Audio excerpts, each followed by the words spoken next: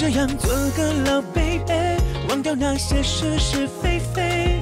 老歌手不需要太完美。你很完美了。Come on, come on！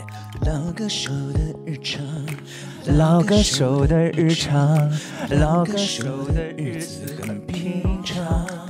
就 是哎，老歌手的日常，老歌手也需要被欣赏。